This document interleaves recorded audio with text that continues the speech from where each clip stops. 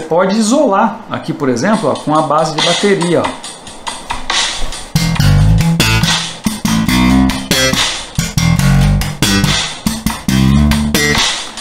Olha só que interessante, ó.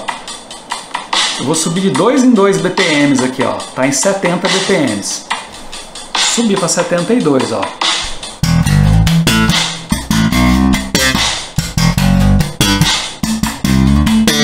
Parece que nem mudou, né?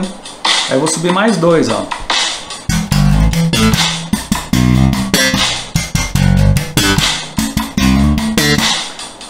Parece que não tá mudando. Mais dois, ó.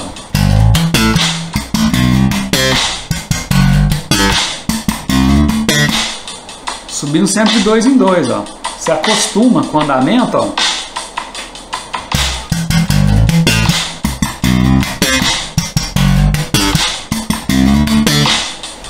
Ó, mais dois.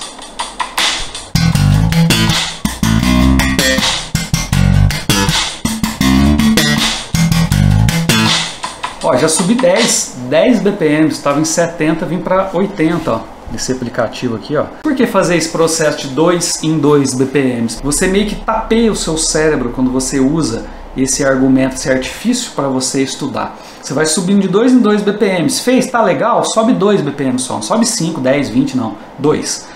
Tá legal de novo? Sobe mais 2, mais 2, mais 2, gradativamente. Você vai ver que daqui a pouco você chegou no andamento que você queria de boa. Foi bem mais leve do que se você fosse subindo de 5 em 5, de 10 em 10 BPMs. A, a diferença fica muito mais perceptível. Quando eu faço aqui, ó, 70 BPMs de novo, ó.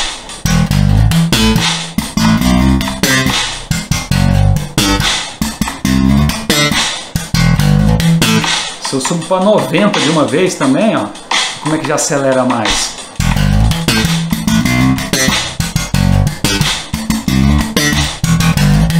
Pode inclusive usar a linha da música para fazer um estudo, né? Técnico de slap, aqui, ó.